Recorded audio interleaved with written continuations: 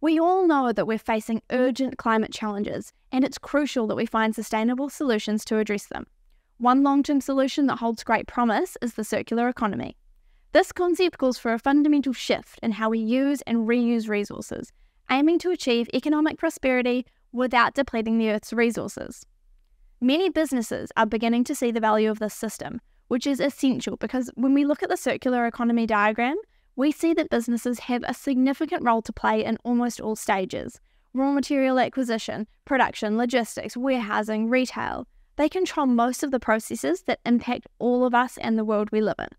However, there's one crucial section that businesses don't control what happens to their products after they've been purchased. Without this section of the diagram working and those products being returned so the resources are cascading back into the system, we will never achieve a circular economy. Therefore, an important group of supply chain stakeholders are now coming into the spotlight.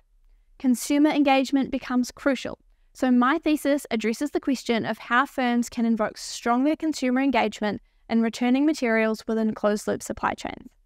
What I was especially interested in was the types of goods that have been under researched. Numerous studies have focused on high value goods such as laptops and phones, and while this is important, it has shrouded the opportunity for lower cost and involvement goods. Low involvement in this context means that less thought and care is given to the product at the time of purchase and likely at the time of disposal. I used an extended theory of planned behaviour as the theoretical lens to understand the factors influencing consumers' intentions.